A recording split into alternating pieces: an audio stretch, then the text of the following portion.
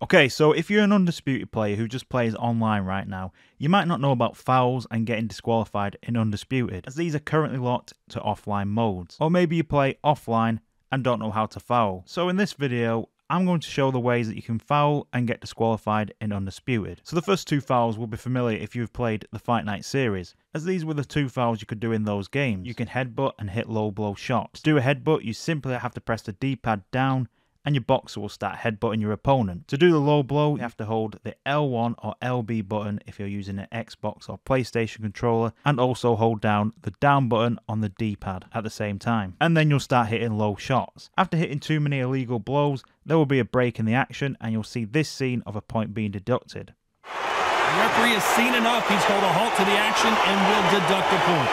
About time, ref.